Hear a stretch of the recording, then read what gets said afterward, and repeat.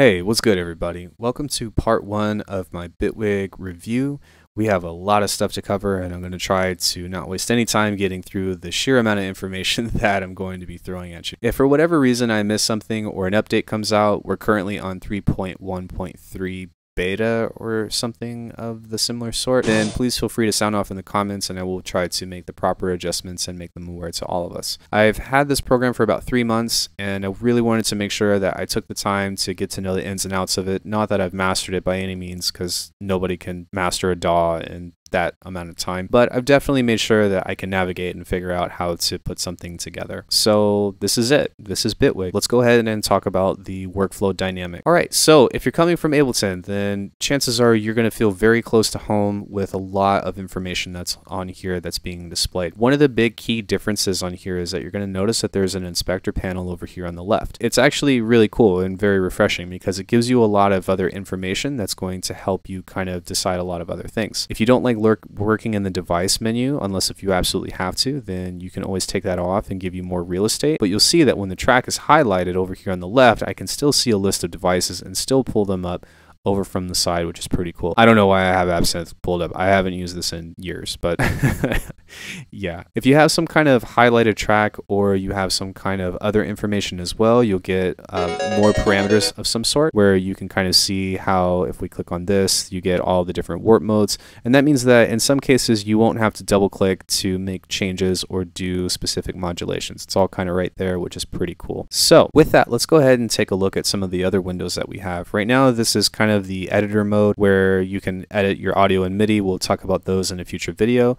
If we click on this, this is, this is our automation where we can find parameters to automate. Speaking of, we can also click on the little three dots here and do the same thing where we can find whatever we can automate and make lines with double clicks and X, Y, Z. So that's how you do automation. If you are looking for something specific that you want to automate, let's say I have an instance of AMP pulled up, you can still do the same thing where you click and drag and then hit the plus button and it will pull up right there. And you'll see that those are being automated in real time, which is pretty neat. Over here on the right, you have this folder that you can either expand or collapse, which is one of your browser windows, but it's not the only browser window that's on here. I definitely had to take some time to make sure that all of my favorites were set up and presets and all that stuff, but that's kind of an afternoon's work. And once you get past that, then it becomes pretty easy to navigate. You're going to have to be mindful of this though, because if you have presets set up and you're like looking in the device menu, then you might not find find what you're looking for. So just kind of be mindful of all that stuff whenever you're looking through all of this. But speaking of, one of the really cool things that you may or may not have noticed when I pulled the amp up is that if I push on the plus button here, a browser window pops up and it's already set to where I can automatically insert a search function. Coming from Ableton, that's a very common thing that has been adopted with a lot of people's workflow where you would go into the file browser and then you would type it in. But instead of having to click on the specific folder or the specific plugin menu, XYZ, you can just type this in of, let's say I want to do serum, right? And then boom, there's serum effects. If I want to come down here and find something else, there's my instrument, there's serum. If I want to find phase plant, I can do that as well, which is pretty cool. And then, of course, you can go ahead and toggle between the, the categories. So it's really neat, and I really encourage this kind of workflow because it just it's so easy to search for things. So I typically don't even use this window. I kind of hop off of that and then I kind of just push the plus button and then add things as I need. So speaking of other Ableton relative features, let me go ahead and reverse this over here. We can do the same thing where this calls it nested devices, but we might all know it as groups or groups within groups, which you can absolutely do. So all we have to do is we can highlight this right here and then hit group and then you'll see that that's available. It's kind of a different layout. You'll see that there is this little blue bar that highlights this over here and we can click on our effects. But that helps us dictate if we want to have something be on the inside versus on the outside. And just like tracks and uh, group tracks as well, you can do the same thing where you have groups within groups within groups. And I can kind of show you here, here are my basic drums. Then I have a sidechain group, and then I have some other random things that I'm not really even using. Next up is the clip launcher, which is pretty neat. So if I hit L, then you'll notice that the clip launcher pulls up right next to the timeline. And so as opposed to having to hit tab for session view, I can just pull this up right here. And if you guys have seen my video on how to implement a workflow with this, then you'll know that you can basically build scenes right here and add them directly to your timeline and kind of play between the two seamlessly. It's all in one window. And it's really neat because that means that I can kind of keep everything working very quickly. Or if I do something with audio and I want to create several different renditions of it, then I can click and drag it and put it in here for later. It's also a way that you can kind of pseudo implement multi-stage envelopes, which we'll cover in a future video, but it's pretty cool with uh, all that stuff.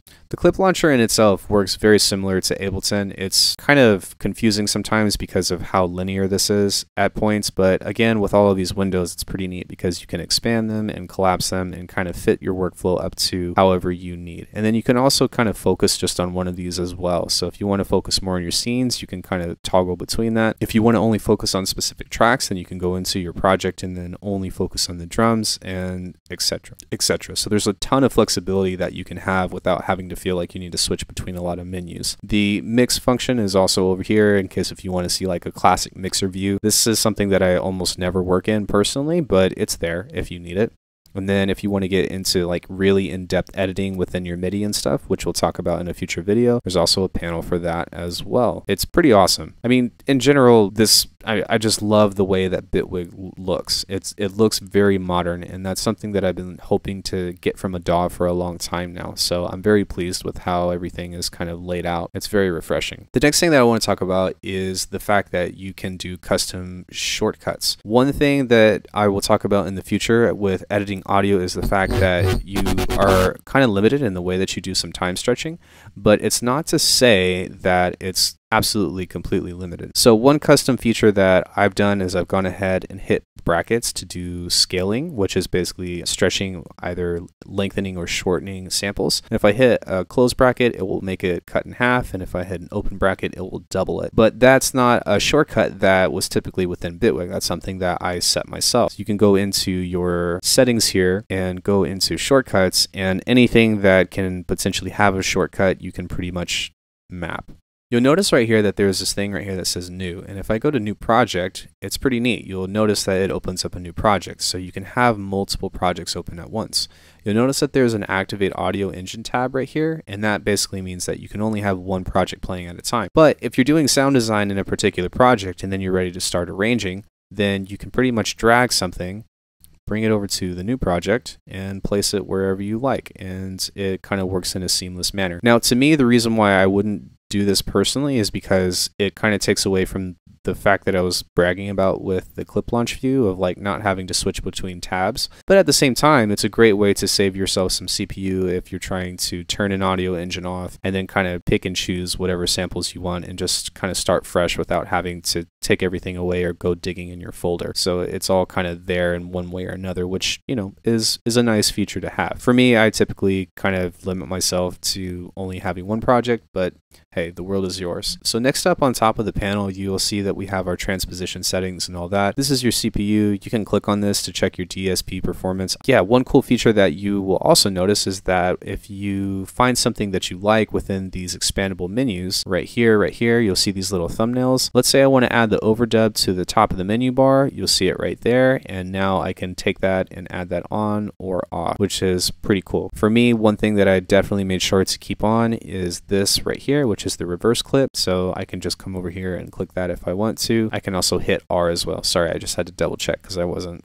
totally completely sure. Yeah, as far as exporting goes, you do have a few options, but for the most part, you are relatively limited when it comes to uh, being compared to Ableton. If we go over here to export, then we can kind of cover what we got. You can pick your loop range, which is a little bit easier to select as opposed to having to make sure that you highlight everything. It's nice that this will give you a double check of like, oh, I only, I did, I forgot to highlight the region that I want to, that I want to export. Cause for me, I leave a lot of extra sound and stuff on the timeline from sound design and stuff. So I can hit that loop region and it will kind of correct that for me. We have our bit depth options, which goes all the way up to 32 bit. And then we have the real time dither, prefader, open. It's kind of cool that you can set up some other things with this as well and then tell it where it wants to go, XYZ. It's kind of unfortunate that it doesn't export MP3s, but it's not that big of a deal. You can also pick which individual tracks that you want to do, which is pretty cool. So if you wanted to come here, then you can just do drums and do that, which is why grouping your tracks is so important in the first place, right? So the next feature that I want to talk about is the fact that you can bring up an onboard keyboard. Now, for me, I don't have a touch screen, but if you did, then you can basically play all of this stuff on a keyboard here. You can also hit the caps lock button if you want to play with your QWERTY keyboard. It was kind of confusing for me that I couldn't figure that out a while ago. It was kind of confusing that I couldn't figure that out. I had literally had to Google it. I'm like, surely there's a way that you can play this on your QWERTY keyboard. But there's a couple of settings that you can do as far as the layout goes, which you'll find over here. It's which is pretty neat. So within that, you'll see that there are a couple of other different things that you can look at, which are your in-out panels, which I don't really mess with that much, but this is if you're going out to speakers where I only use headphones. And then this one right here is just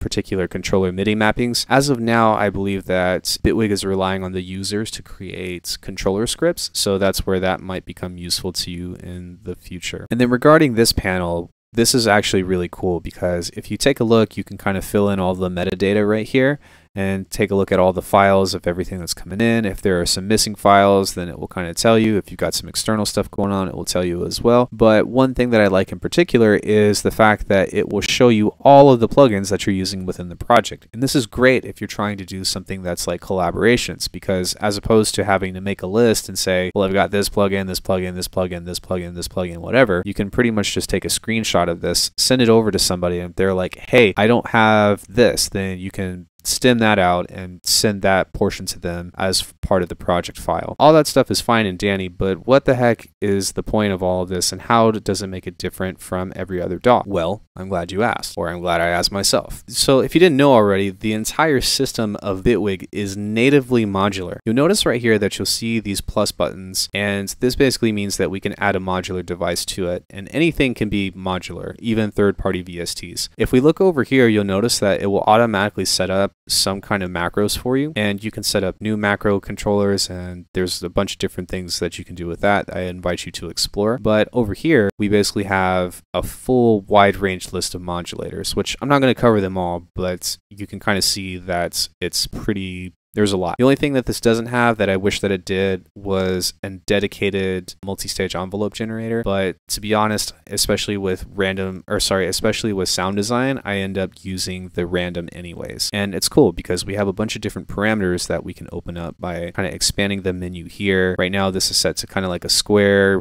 wave on the random. We can turn that to smooth it out. We can make it more subtle. We can make this bipolar and there's just so many options. And once we click this button here, just like how you would on a map control in Ableton, we can kind of click and drag this into different ways. And then once we click that again, you'll see that this will move at a random pace. So when I hit a note, you'll notice that this is kind of doing all the randomization things and whatnot, which is pretty neat. Like this is so crazy, and this like really is overlooked by quite a bit because you can modulate your modulators. So if I wanted to add an LFO to something else, let's say I wanted to LFO the randomization, I can hit this and now this is turning this. So now the randomization speed is being modulated by this LFO. And if I wanted to, I can add in another LFO and modulate the speed of this LFO. And you can kind of just see like how deep this rabbit hole goes. And I really encourage you guys to like not be so afraid of sound design and just like spend an afternoon and do stuff like this because it's really fun and it's really cool. And there's like, this really makes things so much more fun to do sound design with. And I can't tell you how many times I wish I could just set up a particular LFO or a particular thing that I can set and forget. And it really like makes me not worry about automation so much, which I really try to get as far away from automation as I possibly can. That's not to say that I don't automate a lot of things, but if I can avoid it, I definitely try to. Some other things to cover. Bitwig does not cover or does not have a video player. So if you are a sound designer, like right now on stream, I'm doing things in sound design. I still have to do it in Ableton because there's no video player. However, Bitwig does offer hybrid tracks, which is pretty cool. I've covered in another video, but basically what that means is you can right click this and turn this into a hybrid track. And what that means, I can have MIDI and I can also have audio both on the same track. Now, where this would come into play is if you have something in MIDI and then you want to bounce it in place. So let's say I double click a region right here and I just have a C. I just go hmm. here and I make this legato and I'm like, okay, get out of that. And then I'm like, okay, great. I really like this. I can right click this, go bounce into place and then boom. And this is kind of what you have in place of freezing and flattening tracks. There's two different ways to do it. You can bounce in place or you can bounce to a new track. If you bounce in place, then it's only going to take what the source audio is. So it's not going to bounce at all the effects. If you bounce to a new track, then it will take all of the effects that you have after. And you can also do that with a master track as well if you want to bounce that. So like if I wanted to get all of the effects, let's say I had a bunch of stuff that was on the FM4, don't know what it is, I can say like, all right, like an amp or something. Then I can come into here and I can create a clip then I can go right click, bounce in place, and you'll see that I have the audio from that as well, which is kind of cool. And then I can move it into a different place. It's kind of weird that you can put stuff on your master track, but you'll get used to it. So another really important thing within Bitwig is that it has the ability to sandbox plugins. And basically what that means is while it does sometimes cost a little bit more CPU, it will basically control or contaminate or quarantine all of the plugins within the sandbox in itself. So if a plugin crashes rather than destroying the whole program, it will kind of contain it within its own right, let it shut down, and then you can kind of relaunch the VST within itself. It's not to say that Bitwig is crash free. I've had already a couple crashes from Bitwig. Granted, it is in a beta form, but it definitely lowers the particular chances of something like that happening.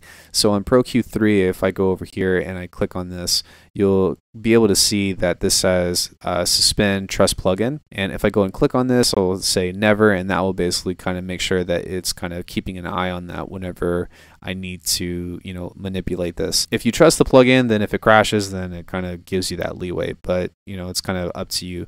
But that's something that may or may not be useful to you as well. So one final thing that I wanted to cover within the general workflow of like kind of getting used to everything is that you have the ability to sidechain via modulators on this. So right now within this nested device, I am using Gatekeeper, but what I was using before, just because I like to remember how to do it, is a couple of tools that is helping me sidechain any audio that's coming into this. If I click here and click on this, you'll see that right now this is coming from Kick 2 and this one is coming from a phase plant snare. And they're not compressors, but they kind of act like that, which is kind of cool, but it's just ducking the audio within this tool. And the tool is like a utility, so to speak. So it's a very clean way to sidechain if you don't have something like Gatekeeper. Whereas Gatekeeper was just like very easy to set up and I already had it. But yeah, it's a great alternative to kind of do that. And once you have this set up, you never have to do it again. You also have your send tracks, which is kind of cool. We will talk more so about that when we get into the drum rack as far as the instruments and effects goes, but they are there. I guess your return tracks, so to speak, if that's what you're used to calling them, is right here. And then you can kind of send all of those within the inspector, which would be right here. And then side one effect, and you just send it that way. So that's pretty much how you can navigate around this. If you know you're like, oh yeah, this kind of seems similar, then you'd be absolutely right. There's a couple of other things that I didn't cover, like as far as like how to you know change the grid and stuff. Those are all pretty standard features that I don't think are very unique to Bitwig in their own right. So yeah, that's it for part one. Next up, we're going to be looking at how to do some cool stuff with audio, followed by MIDI, and that will conclude the first part of the series for the overall general workflow of like how to do things within Bitwig. But yeah, guys, thanks so much for watching. I hope that you enjoyed this video and that it was informative to you, and I will see you in the next video.